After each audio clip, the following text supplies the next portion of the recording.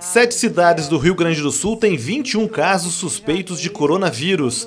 A informação foi repassada pela Secretaria Estadual da Saúde na tarde de ontem. Além da capital, há suspeitas em Canoas, Farroupilha, Montenegro, Palmares do Sul, Passo Fundo e Santa Maria.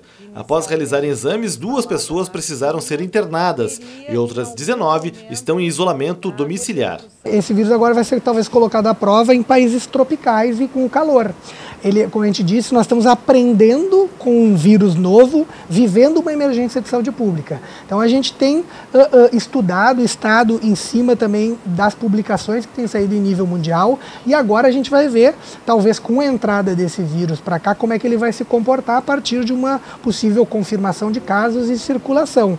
Não temos como saber muito ainda como é que ele vai se comportar. O que se sabe é que esses vírus de transmissão respiratória são mais comuns e têm maior maior potencial de disseminação na época de inverno. E para retardar o avanço do vírus, o Ministério da Saúde decidiu antecipar a campanha de vacinação contra a gripe para o dia 23 de março. A vacina não protege do coronavírus, mas o governo entende que imunizar contra a gripe reduzirá a busca por atendimento de pessoas que acreditem ter a doença.